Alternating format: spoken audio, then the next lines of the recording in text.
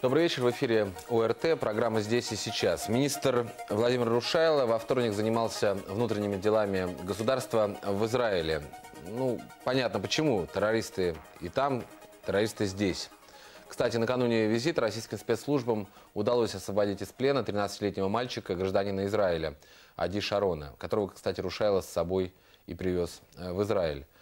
Вообще, эта история особая, поскольку похитили мальчика в Москве, искали его в Чечне, а нашли в Пензенской области. Эта история совершенно очевидно свидетельствует о размахе сети работорговли в России. Здесь и сейчас с нами на связи из Тель-Авива министр внутренних дел Владимир Рушайло. Владимир Борисович, э, добрый вечер. Вы знаете, я, когда вот эта история с Ади Шароном стала известна, вот это, то, что его нашли в дачном поселке под Пензой, я, честно говоря, вспомнил, как недавно президент Путин говорил, у нас Чечня везде. Но когда он это сказал, я вот не представлял себе, что он говорил, ну, в общем-то, буквально. Что известно об этих бандитах? Добрый вечер. Э, ну, задержана группа, в состав которой входило несколько жителей э, Чеченской республики, несколько жителей Ингушетии, несколько жителей Москвы и несколько жителей э, города Пензы. В течение длительного времени эта преступная группа занималась совершением различных преступлений, одно из которых это похищение Ади Шарона и его отца. А они были как-то связаны с Чечней, с, поскольку, как я понимаю, люди, которые выходили в качестве посредников, в том числе и на ваши структуры, они ввели с вами торг из Чечни, да? Не совсем так. Э, те люди, которые совершили э, похищение отца и мальчика, после этого похищения они отца отпустили.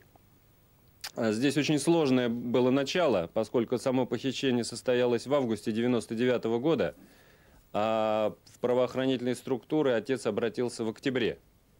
Первоначально он пытался самостоятельно решить вопросы, что ему не удалось.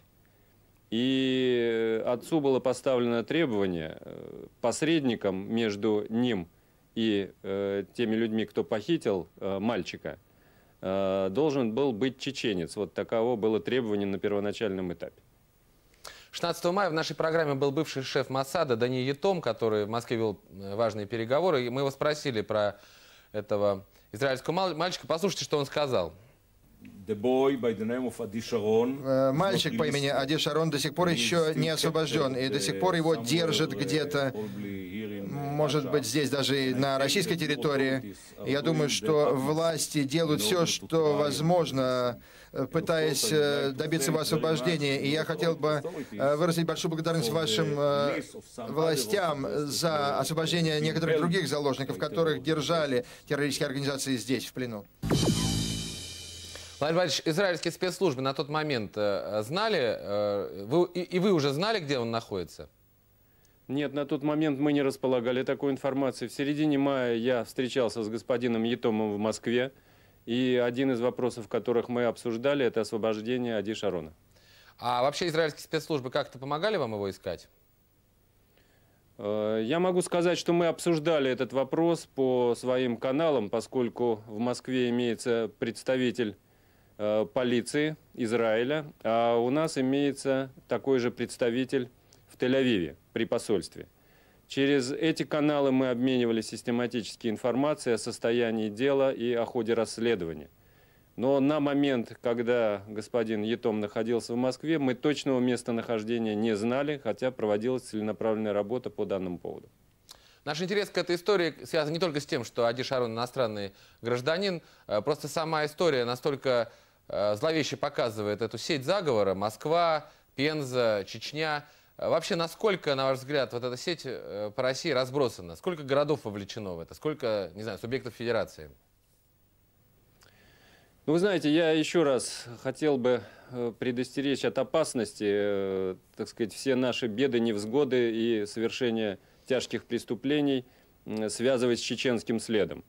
Э, еще раз подчеркиваю, мы ведь боремся не с чеченским народом, мы боремся с преступниками, с террористами. Э, к сожалению, э, те лица, которые по разным причинам, иногда для совершения правонарушений и преступлений выехали из Чечни, занимаются совершением тяжких преступлений. В данном случае мы как раз и установили, что вот эта организованная преступная группа участников, которые я схематично перечислил, занимается совершением тяжких преступлений. Выходцы из Чечни имеются во многих регионах Российской Федерации – Э, проводя э, работу э, как на уровне ГУВД, УВД, так и на уровне региональных управлений по борьбе с организованной преступностью, мы большое значение уделяем выявлению и борьбе с этническими преступными группировками. И, безусловно, чеченские преступные группировки занимают в этой борьбе не последнее место. Мы сейчас закончили фильм документальный «Рынок рабов» называется. Три года занимались изучением проблемы заложников. Э, по нашим данным, сейчас еще в плену находится 3396 человек. Э, а ваши данные сколько? Ну, вы знаете, мы такой большой цифрой не располагаем. Э, по нашим данным, где-то от 800 до 850 человек из числа похищенных, о которых мы знаем, в том числе там есть и несколько иностранных граждан, но мы эту работу организовали сейчас достаточно эффективно, на наш взгляд. Э, многие заложники уже освобождены были как э, в середине прошлого года, так и в начале этого. А и цифра... эта работа ведется постоянно. Вот одно из наших э, последних посещений Чечни и Тумкалинский район сотрудниками Временного отдела внутренних дел было освобождено сразу 15 человек, которые использовались чеченскими боевиками для производства строительных работ. В этом смысле пензенская история исключение, в смысле цифры. То есть вы считаете, что эти 800-850 находятся э, в основном в Чечне, да?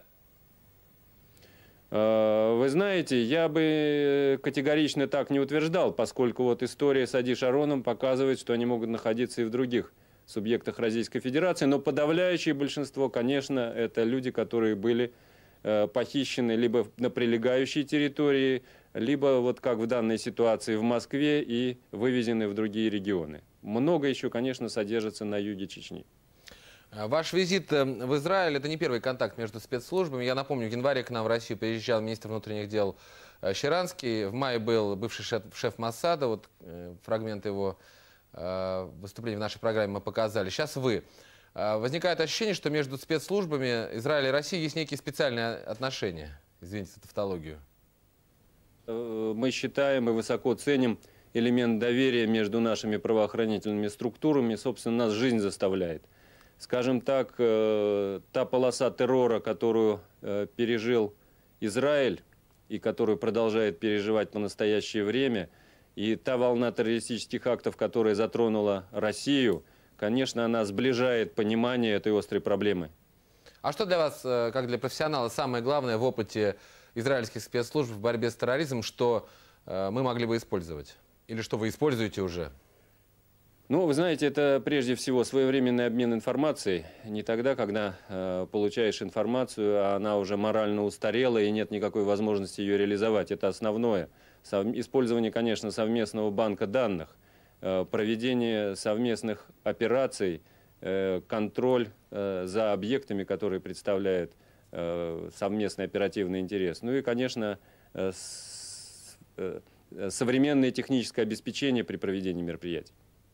И все это вы получаете от израильтян? Ну, во всяком случае, мы сейчас обсуждаем целый ряд проектов. Кроме того, я хотел бы отметить, что вместе со мной в Израиль прибыло 10 наших сотрудников Министерства внутренних дел – которые получили ранения во время проведения контртеррористической операции в Чеченской Республике и которые в течение двух недель э, в Израиле будут проходить реабилитационный курс лечения. Сейчас они находятся э, в одном из медицинских учреждений возле Мертвого моря, и, как мне сказали, лечение идет довольно успешно. Спасибо большое, Владимир Борисович. Я благодарен вам и вашим коллегам за то, что еще один заложник, Ади Шарон, теперь уже дома. И спасибо Израилю, что эти 10 э, наших спецназовцев, благодаря вот израильскому правительству пройдут медицинскую адаптацию э, там, вот то, что вы сказали, у Мертвого моря, здесь и сейчас.